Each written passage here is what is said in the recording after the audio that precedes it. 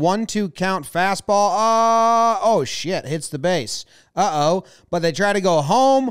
Easy out. We got him. Hinch says, no, let's review it. That's what catchers do. They lay their leg there, they get the ball, and they go. Under the new rule, which is supposed to protect catchers, this is blocking the plate because he did not give the runner a lane to get his hand in.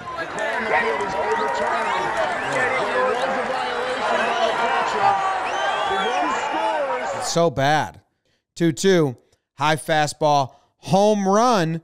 Now that's a three run transition. We're calling some type of rule that is really tricky to uh, to define.